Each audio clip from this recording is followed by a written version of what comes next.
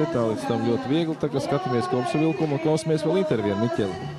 Spēlētāji līdz pulksten 13. vēl var notikt spēlētāju maiņa, tā kā sekojam līdzi, kas notiks un kurš tad īsti spēlēs. Sekojam līdzi un mēs tiekamies šeit pat, liepais atklātajos kortos, divos pēcpusdienā.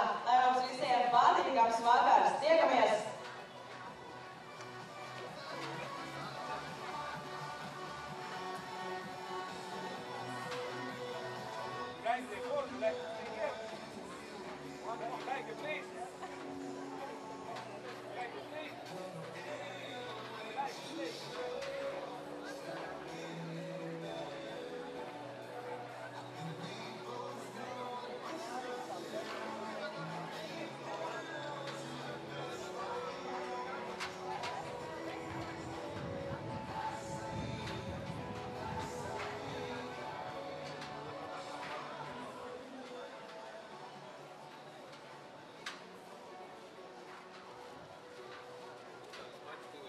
main